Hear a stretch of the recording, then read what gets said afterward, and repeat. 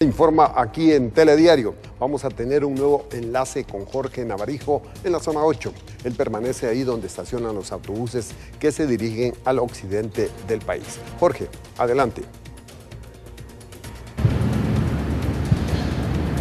Así es, y es que la información no se detiene esta mañana, tal como le mencionaba en el enlace anterior, pues este asueto de día viernes y que, bueno, se une con el fin de semana, es aprovechado por las personas para viajar hasta sus diferentes lugares de origen y poder compartir con la familia, pues este tiempo en este momento en el que nos encontramos en la 40 calle, esto en la zona, en la zona 8, en donde salen los buses hacia el occidente, pues vemos eh, pues ya una gran cantidad de personas que con maleta en mano se encuentran preparados para realizar este viaje. Es parte de lo que queremos mostrarles. Igual las unidades pues se encuentran prestando el servicio con normalidad. Es parte de lo que podemos encontrar esta mañana. Y bueno, algunas de las personas que pues esta mañana van a, van a viajar, señora, por favor. Buenos días, cuéntenos hacia dónde se dirige. Eh, buenos días, nosotros nos dirigimos hasta allá en San Marcos. San Marcos, tuvo el día de libre y aprovecha para poder viajar. Así es todo el día. ¿Sí? ¿Viaja con su pequeño, veo? Eh, sí, con mi hijo.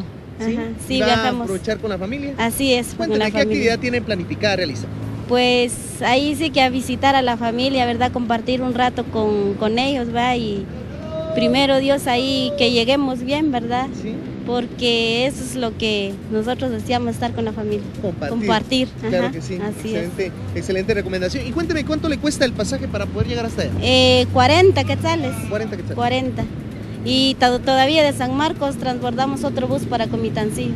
Comitancillo. Así ¿Qué tal por allá? Cuénteme. Eh, pues también ahí bonito, hora y medio para allá también. Sí. Así es. Bueno, muchísimas gracias por compartir esto con nosotros y bueno, ya vemos eh, que las personas, como eh, bien les comentaba, se encuentran ya listas y preparadas para poder realizar este viaje. Bueno, las unidades pues ya comienzan a llenarse, igualmente pues se dispone de, del servicio de pues, los buses de diferentes rutas hacia diferentes departamentos en el occidente. Hablamos de San Marcos, hablamos de Quetzaltenango, es parte de lo que queremos compartir. Señora, ya se encuentra lista para viajar.